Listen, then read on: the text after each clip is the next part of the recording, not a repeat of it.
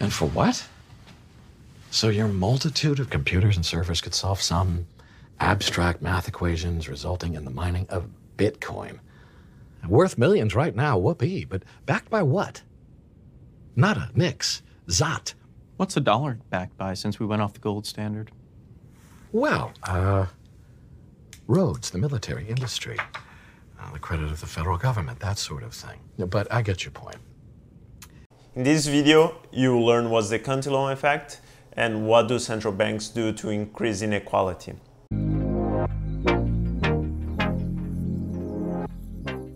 Even though inequality has become a central issue here in the United States, rarely people talk about monetary policy as a cause for that. The Fed or the central bank of the US has printed around $7 billion, as you can see in this graph. And Jerome Powell stated the following in a 60 minutes interview. Simply flooded the system with money. Yes, we did. That's another way to think about it. We did. Where does it come from? Do you just print it? We print it digitally. So we, you know, we as a central bank, we have the ability to create money uh, digitally, and we do that by buying treasury bills or, or bonds or other government guaranteed securities, and that, that actually increases the money supply.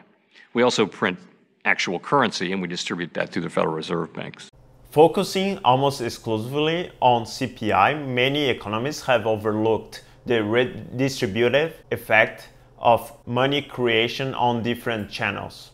In the past 20 years or so, central banks around the world have injected the newly created money through credit channels, buying up bonds. The rise of income inequality in the 70s has been largely a product of monetary policy that has been creating a series of asset bubbles, as we can see in these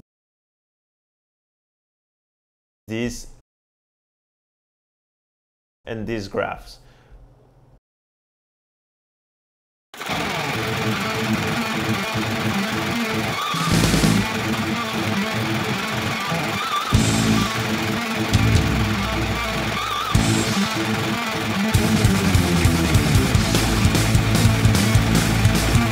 Cantillon explained that the first people to receive the newly created money see the purchasing power increase and the last ones see their purchasing power decrease as inflation hits the market.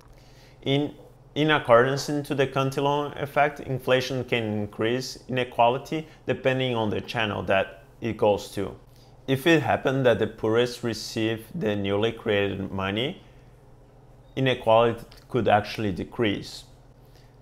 That's not what actually happens today. Today, money is created and injected into the credit channels. You may know our next guest from The Big Short. He was one of the investors who shorted the housing bubble before it crashed more than 10 years ago.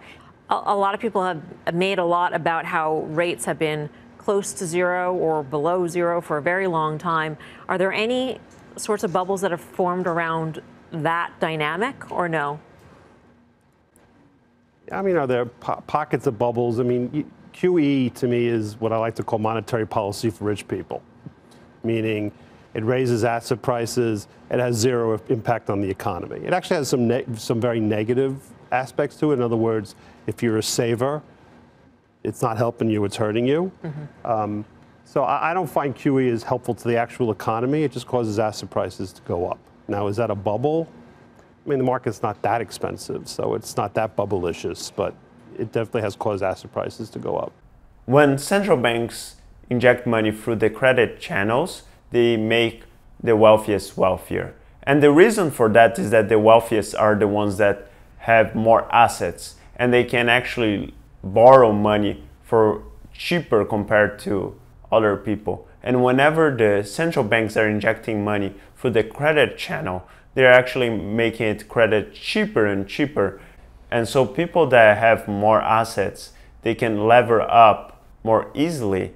And so whenever central banks inject money through the credit channels, they actually make the wealthiest wealthier.